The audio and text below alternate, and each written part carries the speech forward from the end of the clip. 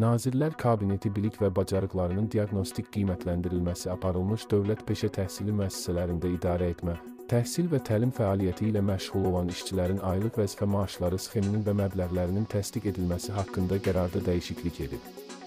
Bununla bağlı Baş nazir Əli Əsədov müvafiq qərar imzalayıb müəllimlərinin bilik və bacarıqlarının diaqnostik qiymətləndirilməsi aparılmış dövlət peşə təhsili müəssisələrinin direktorlarının aylıq vəzifə maaşı 792 manatdan 871 manata, direktorun müavinlərinin, baş mühasiblərinin aylıq vəzifə maaşı 714 manatdan 785 manata və dərs hissə müdirlərinin aylıq vəzifə maaşı 636 manatdan 700 manata çatdırılıb.